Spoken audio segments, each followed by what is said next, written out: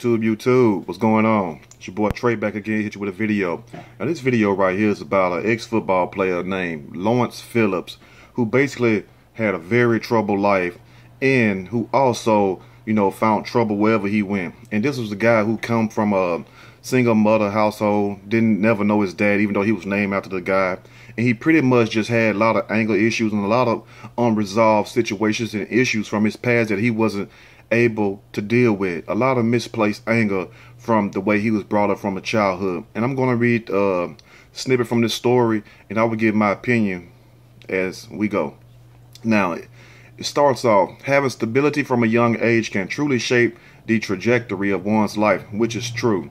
The tangible appearance of positive influence often will lead to productivity at an elevated age, though one untimely has the decision to make specific choices for themselves. The thought process behind the decision making can be determined by one's prior past, which is very true, which meaning better yet, if you have like uh, a good past, a good foundation, both mom and dad, uh, good schooling, good education, parents educated, you have a better chance of succeeding yourself and not having to deal with a lot of unresolved issues. Now, it is true that you have stories with children coming up come from single parent households and also they still be faced with all kinds of dilemma, all kinds of issues, whether they're spoiled or whether they're going through some kind of mental uh, challenges or whatever. But you know, you have a better chance of making it in this world and succeeding if you have uh, a good foundation to stand on. Because remember, anything that's not built properly would not stand. Now, there are those who unable to shake the demons of the past invariably strife and trouble will follow them wherever they go until it's unfortunately too late. And we know a lot of people like that. Athletes in particular are often beset by these sort of circumstances. Many grow up with impoverished backgrounds, others are raised in single parent households. These facets do not help matters when maturing and growing in one's informative years. Habits are developed and thus are potentially carried on in later years, which is very true also, which means that stuff that you do in uh a past in your past it's like uh because humans are creatures of habit. You know we are people of repetition which means we repeat basically the same things each and every day we wake up. No matter if it's putting on your socks or if it's uh fixing the same cup of uh, tea or coffee or whatever we tend to stick to habits and things that we do. So meaning if you have if you was in trouble when you was young and you was uh like a problem child, so they used to say, even though we don't hear that term thrown around much, you would carry on those same actions that you displayed as a child, whether it was rebellion, being hard headed, didn't want to listen to no one,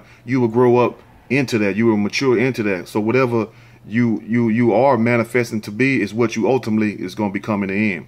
Now, Lawrence Phillips is an example of such a case. Growing up in an unorthodox environment, Phillips continually scratched and clawed for everything he had though a successful football career gave him much joy, violent off the field issues derailed both his professional and personal life.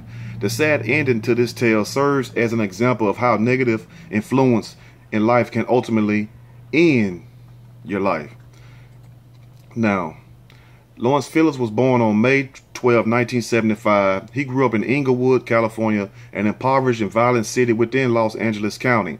He lived there with his mom and had virtually no relationship with his biological father, even though he was named after the guy. His mom boyfriend physically abused Phillips with regularity. It forced Phillips to run away and stop going to school. At age at 11 years of age, he eventually found himself going back and forth between foster home and juvenile detention centers, just having a very rough young childhood. And I'm sure I'm probably be talking to somebody right now who has been through those type of things, whether you was in foster home or you've been adopted or things like that. Even though adoption is kind of different than foster home, because foster home you might bounce around ten places. Adoption, the only way that's going to fail if something happened to the people or you know if you can't be there no more. But most time, if you get into an adoption uh, home, you will end up staying there. Whereas a foster child, he might go to 5, 10, 12 homes before he's even 10 or 15 years old. Now, uh, ultimately, Phillips landed in a group home shortly after the fifth grade named Youth Villages. And a woman named Barbara Thomas took Phillips in at the West Covina group home, toiling, after toiling around in a world of violence, neglect, and instability. Thomas was a true first example of pro, uh, positivity in Phillips' life. He then went on to star as a running back at Baldwin Park High School, where Phillips eventually earned an athletic scholarship to the University of Nebraska. Now, this woman took him in, you know, uh, brought him into a stable environment and pretty much changed his whole way of thinking, his whole way of life, because he wasn't able to do that coming from where he was from. Like uh, my boy Anthony Hamilton said, coming from where I'm from. So, so when he got a change of scenery, a change of neighborhood and different people, he's starting to see how uh, people supposed to get up and be positive, be productive instead of being lazy and being slackers. Not saying everybody there is lazy and slackers because it's not true, but you have a lot of people like that who uh, have so much negativity around them to it's hard to just think positive, you know. And unless you get away from that situation, or unless you're destined to become great, you know, you're gonna uh, most likely wind up being another statistics. And we now all know a lot of people like that. Some of us are kin to them also. Now, uh, Phillips' life had turned around he then went on to star as a running back at Baldwin Park High School, where Phillips eventually earned an athletic scholarship to the University of Nebraska. Very talented, one of the best football players who ever did it. You know, he was a beast on that field. Now, Phillips had a rocket start to his career as he was suspended for his opening game due to a fight with a teammate. However, Phillips was able to turn things around in a big way. He rushed for 1,722 yards, which is a lot, and 16 touchdowns as a sophomore. Many viewed him as one of the best players in the entire country. Phillips was integral in leading Nebraska to the 1994 national championship, and I'm sure anybody that watched football or from Nebraska 1994 knows about this guy right here. Now, however, off the field issues began to rear their ugly head in the ensuing year. Phillips pled not guilty to charges of disturbing the peace, assault, and vandalism only two weeks after the title game over Florida. He was accused of grabbing a fellow student around the neck. So here we go with these uh unresolved issues from the past, rising his ugly head back up. His anger issues, where he wasn't able to deal with his anger properly, where he thought the only way of uh, getting his point across or solving issues or uh, problems was through violence, and that's not the way, you know. And it pretty much led him even more down a steep slope, a steep, a steep slope, excuse me. Now, earlier, early into his junior year, Phillips would be tangled up into another situation that forever tarnished his career in Lincoln. The running back received a call one Saturday evening after a September football game. According to a friend, Phillips' girlfriend at the time, Kate McEwen, was cheating on him with a teammate. This caused Phillips to act in a despicable manner. According to the police reports, Phillips climbed up to the third floor, floor balcony and entered the room housing his girlfriend and teammate was in. He proceeded to pull McEwen down a flight of stairs by her hair. Phillips had also bashed her head into a mailbox upon reports. One would expect this act to completely end his collegiate career, but the exact opposite occurred. So they're still trying to give him chances, even though he assaulted this woman, even though she was cheating on him. But you still, that still don't give you no right to assault her. So they're still trying to look out for this guy, even though we know they did it because he was very talented. But still, though, you gotta take what you can get. You know what I'm saying? Work with what you have. Now, Phillips pleaded no contest to charges of trespassing and misdemeanor assault. As a result, he was sentenced to one year's probation, received mandatory anger management counseling and therapy, and endured a six game suspension from the football team. Phillips offered an emotional apology on an Omaha radio show. Though this incident didn't hurt his draft stock, it offered an ominous look into the into the rest of what will become troubled life for Phillips.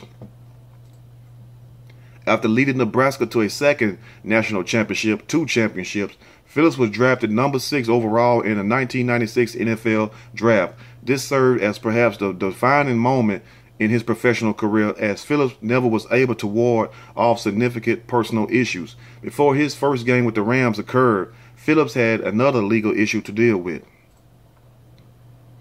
Phillips was arrested for speeding with a flat tire and driving whilst under the influence. This became a major issue for the running back as he violated his probation dating back to his prior incident at Nebraska. Upon being handcuffed, he threw his championship ring in the dirt.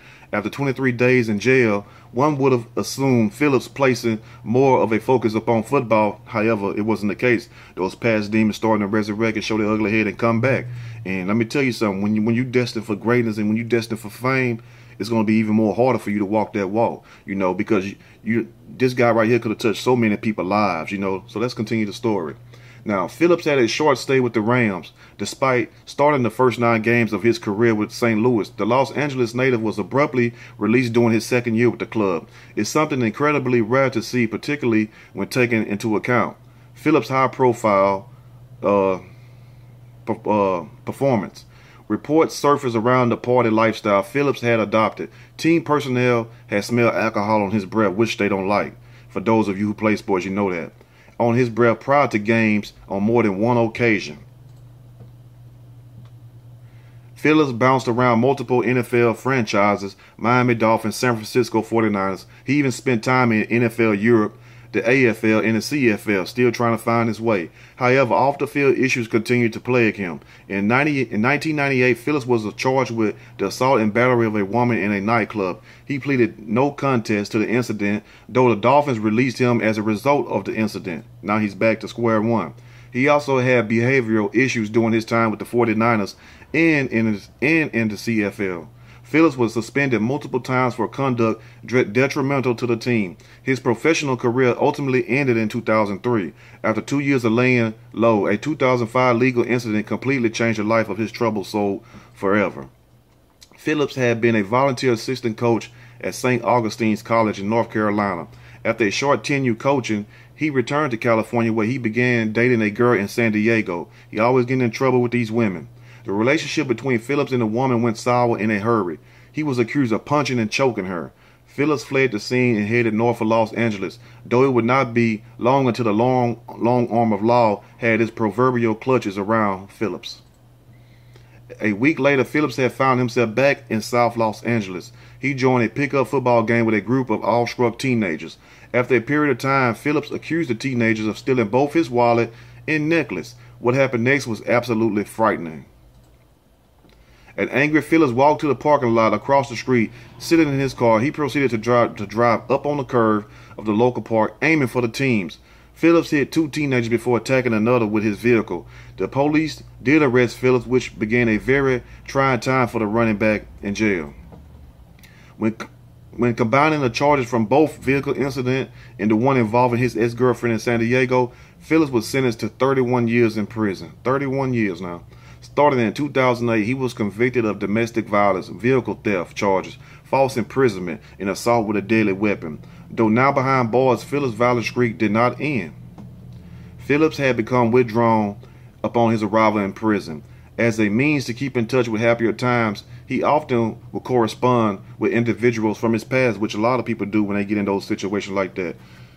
This this included former high school coaches Ty Pagan and Tony Zane. For those of you who, who know about those coaches right there, very uh, popular, famous coaches, good coaches. Here's an excerpt of one letter Phillips had penned to Pagan in 2014. Dear Coach Pagan, we have been in lockdown about 80% of the time. You would be surprised at what these altercations are about. Nonsense. But when your world is this small, all one has to care about is nonsense. That is why I do not want any of these idiots in the cell with me. All they want to do is is the drugs, make knives, and make alcohol. So needless to say, I have zero friends inside here. Not one person is in line with my way of thinking. Well, that's all from here. Pagan, I will stay out of trouble. I might have to endure some write-ups for refusing a cellmate, though. Better, better that than them getting me into serious trouble. He didn't want nobody around him. He had grown very recluse. Now, prison had become too much for Phillips to bear. In a letter addressed to his mom in March of 2015, the former running back offered this chilling message. I feel myself very close to snapping. My anger grows daily as I have become fed up with prison. I feel my anger is near bursting and that will result in my death or the death of someone else. A month later, Damion Soward, the cellmate of Phillips, was found dead. It was determined he had been choked to death. The following September, Phillips was charged with first degree murder. At this point, Phillips had found himself in an absolutely hopeless situation. Because once you get that murder on you, it's hard. It's hard to shake it up off. You're trying to get out of prison with that, especially when you're already in there for separate other charges. And then you get a murder in prison. But he warned these people, though. He warned these people, you know, and a lot of people are not stable like that. So this is the final result. On January the 13th, 2016, Phillips was found unresponsive in his cell. He had he had a bed sheet wrapped around his neck, and according to reports, had a note taped on his shirt which read, "Do not resuscitate." Just you know, he was he was finished. He would not live his life out in prison. He would rather go. You know, Phillips was 40 years old at the time of his death, which was officially ruled as suicide by the coroner's report. Phillips led Phillips truly led a tortured life. Years of neglect and heartache at a young age contributed to his volatile character as an adult. He's yet another he's yet another example of a once promising athlete beset by personal issues away from the sport. And you know, it just it's just sad that you have this guy with so much potential and could have could have reached so much people with the experiences that he went through and you know by him not being able to deal with his past and not him being able to really trust no one because only person he really had was his mom and the woman that, uh, that, that took him in and showed him a better life and that first got him started in Nebraska. So this is a guy who basically instead of trying to move him forward, he kept finding himself going back. Even when he was in the park, the park playing pickup football games with teenagers, as he accused one of stealing his wallet and his necklace. And I'm not saying they did, but how he should have handled it is called authorities. And if they couldn't do nothing, just leave the situation alone. Don't get in your vehicle and run people over. See, he felt uh, he had this eye for an eye type attitude. When somebody do me wrong, no matter who they are, how young or old they are, I'm gonna get them before they get me. You know, and if you mess over me, I feel you have anything coming to you. That's the type of mindset this guy have, and we ultimately see where it led him to. So I want you all to think about that situation right there today, because you know we all go through situations. You don't know what these NFL, these NBA players, and and other people go through, and what it, what it took for them to get there, me included. You know, so think about that before you try to uh, judge a book by its cover, and before you really talk about somebody. Get to know that person's struggle before you talk down on them, and never talk down on no one unless what unless you helping them up. That's all I got to say for the day. I want you all to think about that. If you, uh, matter of fact, uh, big shout out to newarena.com for covering this story. What a great story. What a great written story. But, uh, yeah, y'all go check that out and stuff. I'm going to uh, put the pictures in the video. If you like the video, push that like button. You like, subscribe. Till next time, stay blessed and be thankful for the life you have and be thankful that you know that you can wake up every day and walk outside when you want to and have peace in your life if that's what you have right now and if you do not have it continue to seek it because it's your life you know YOLO you only live once so do what you got to do while you're here while you're blessed with the time till next time it's been your boy Trey. I'm out